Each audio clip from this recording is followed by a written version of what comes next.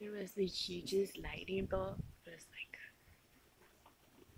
like, ripped the band-aid, and then the loudest thunder. I ran behind them, and all the cars, the alarms went off on that side over there. Oh my, just came over here and made some move out of the way.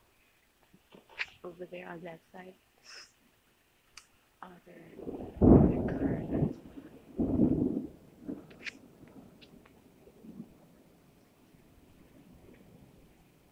I already said, guys, I just like them.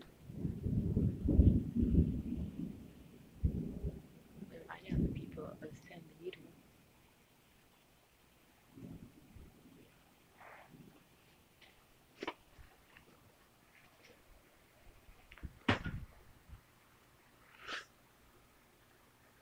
God just sent me a message of stay in time.